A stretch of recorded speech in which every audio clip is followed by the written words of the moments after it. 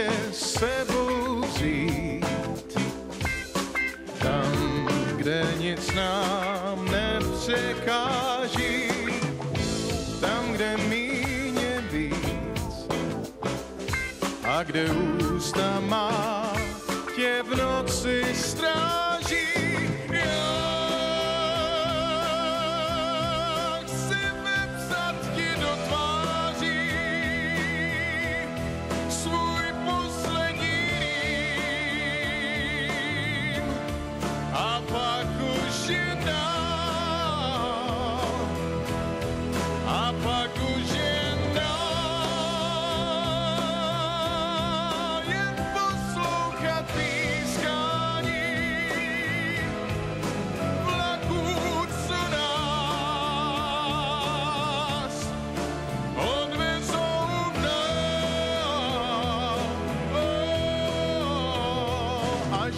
bed.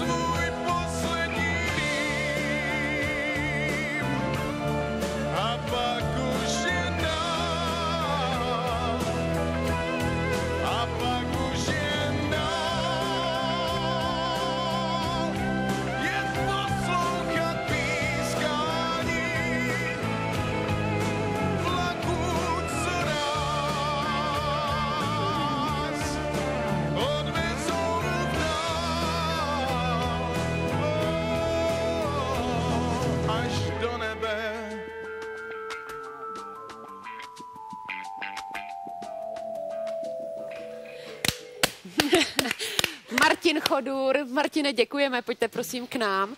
No teda, to s vámi syn udělal takhle s vám s hlasem.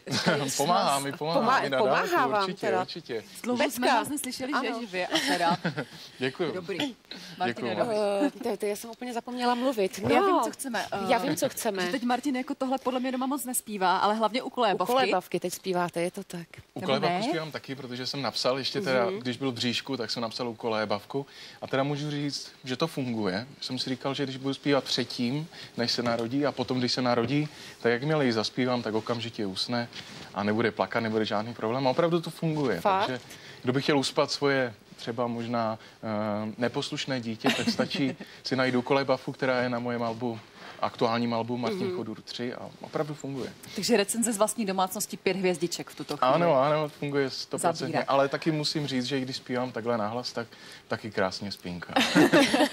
Eh, jak se ta ukolebavka mimochodem jmenuje? Jak ji najdeme? Pod jakým názvem? Ukolebavka se jmenuje jednoduše ukolebavka, ah. abyste ji nemohli. A dáte asi třeba no. kousek jenom, nebo, nebo, nebo slova? Um, tak můžu kousiček vlastně, no. to mě, mě napadlo. Tak aspoň, aspoň takovou jako melodii.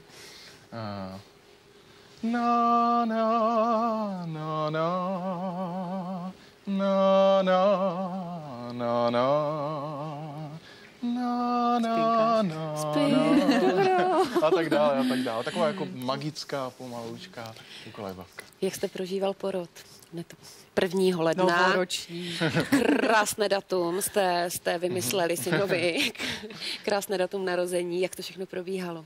Tak je to zajímavý, zajímavý zážitek. Já si myslím, vždycky jsem chtěl být u porodu a věřím, že ten muž by u toho porodu měl být, aby podpořil tu partnerku a vždycky se, nikdy se mi nelíbil takový ten zaběhnutý systém, že ten, ten muž čeká někde prostě doma, až dostane ten telefon a potom se jde opít s kamarády. Ano.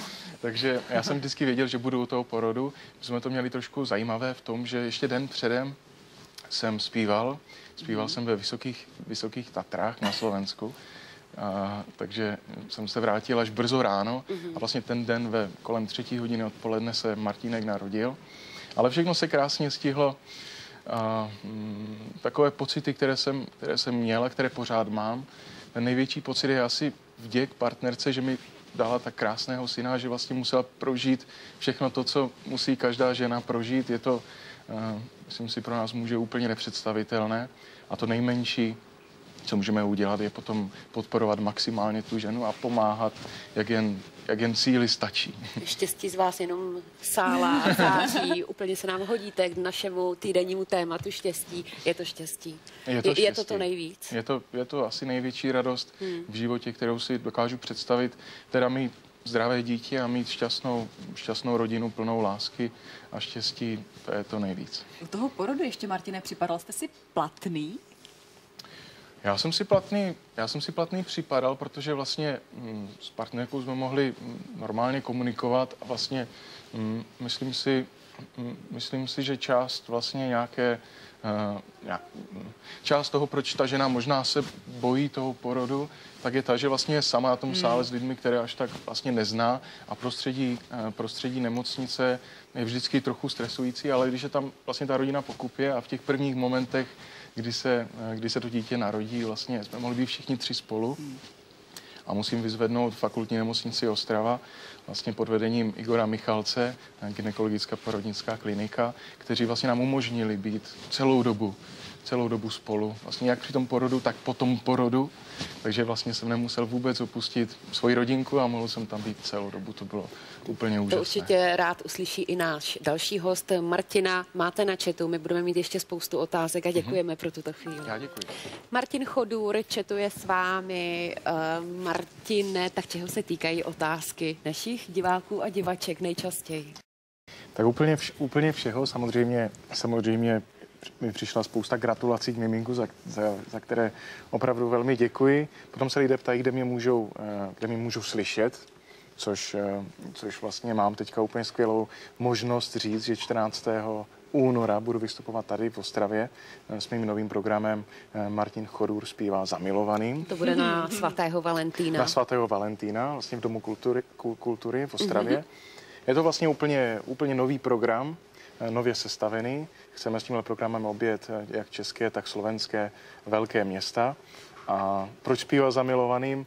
Proto je asi jasné, že v mém životě je teď tolik lásky, že cítím, že právě ty eh, písně o lásce jsou ideální pro mě a doufám, že to budou taky posluchači cítit. Akorát toho 14. to teda stihnete jen v té Ostravě, pak už to budou jiná data. Pak už to budou jiná data, a je jiná, Valentín. Data, jiná města. Uh, ten ostravský koncert má ještě jeden pěkný rozměr, že vy výtěžek z toho koncertu uh-huh. věnujete škole, uh-huh. ve které jste se učil zpívat, nebo minimálně rozvíjel ty své pěvecké dovednosti. Ano, je to tak, protože já vlastně nechci nikdy zapomenout, odkud jsem zešel.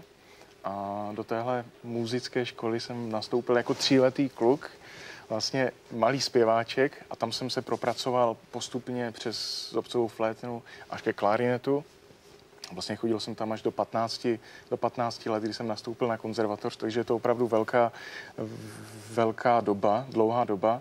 A neměl jsem ještě možnost vlastně jim, si myslím, dostatečně hmm. poděkovat za to, že jsem tam vůbec vydržel, protože spousta dětí si myslím nastoupí a třeba vlivem špatného vedení je to přestane bavit a začnou se věnovat něčemu jinému.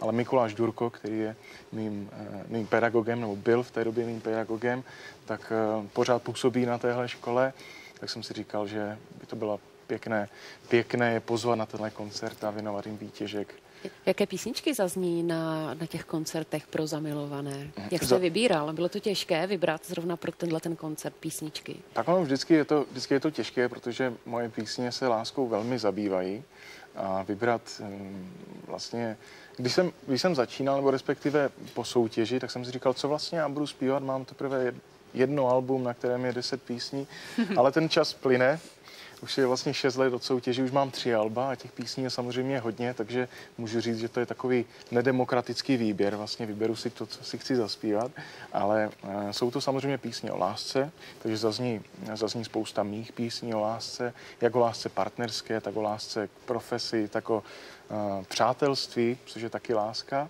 A kromě toho zazní spousta známých světových, světových hitů o lásce, namátkou Most přes rozbouřené řeky, nebo Měsíční řeka z filmu Snídaně u Tiffanyho a, a další, Tenkrát na západě, další krásné, krásné melodie, které doufám navodí příjemnou, láskyplnou atmosféru. Já mám jednu informaci pro naše diváky. Pokud vás Martin opravdu nalákal na svůj valentýnský koncert a chtěli byste tam jít, tak když se dovoláte jako první, tak eh, pro vás máme lístky. Tak můžete točit telefony. A na Martina mám další otázku a ta se týká dalšího koncertu. A tentokrát se vrátíme právě k oslavám 60. Mm-hmm. narozenin České televize. Vy vystoupíte na gala koncertu. Kdy mm-hmm. a kde to bude? Mhm. Je to tak, ten gala koncert bude, budou natáčet televizní kamery, takže diváci se budou moct podívat na, na, tuhle, na tuhle krásnou oslavu. Bude to 16.2. A já jsem velmi rád, že tam můžu být, protože Česká televize vlastně od jak živa vždycky dávala přednost, eh, dávala prostor eh, mladým zpěvákům. I mě dává spoustu prostoru. Vlastně jsem tady často hostem jak dobrého rána, tak eh, sama doma, což jsem vždycky velmi, velmi rád.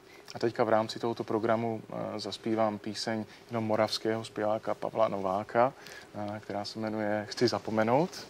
A kromě toho zaspívám ještě píseň Až do nebe, kterou jsem zpíval mimochodem i dneska tady u vás. A bude to za doprovodu skvělého orchestru, složeného z těch nejlepších ostravských muzikantů pod vedením Borise Urbánka. Mm-hmm. Takže Teď jenom, ať to upřesníme, ne na ten koncert, o kterém jsme mluvili v posledním dlouhém souvětí. Ale na Valentýnský, tak kdo tam půjde, koho máme na telefonu?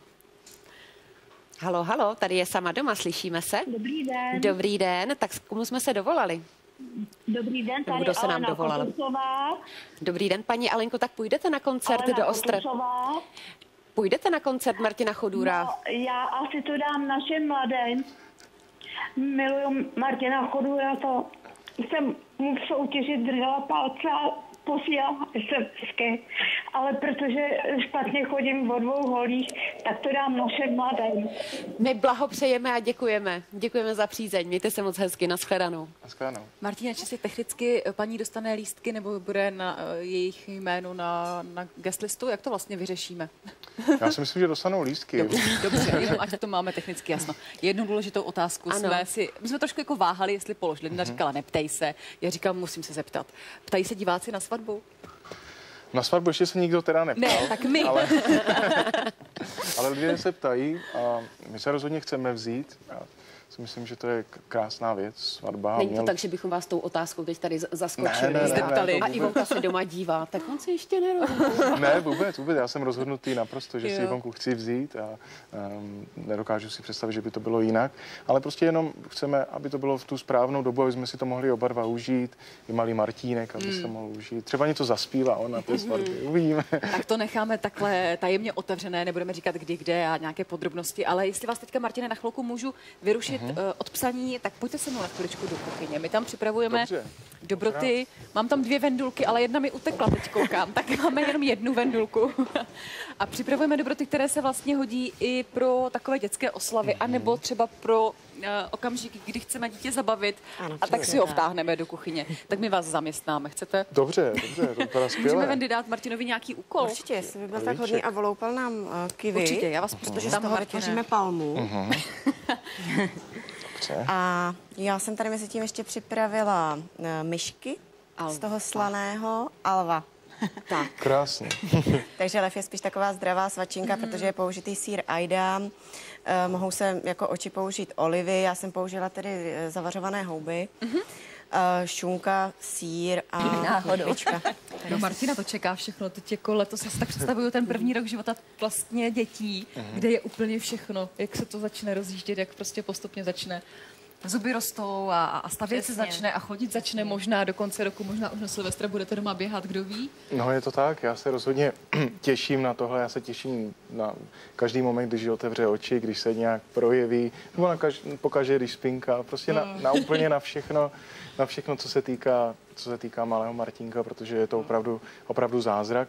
A jinak se samozřejmě těším, Mám to asi dost podobně, těším se na malé věci, a těším se, těším se na pohodu doma, ale zároveň se těším i na moje koncerty Martin Chodur zpívá Zamilovaný, protože eh, to bude trošku něco jiného, je to vlastně taková větší, větší akce, budou to větší koncerty.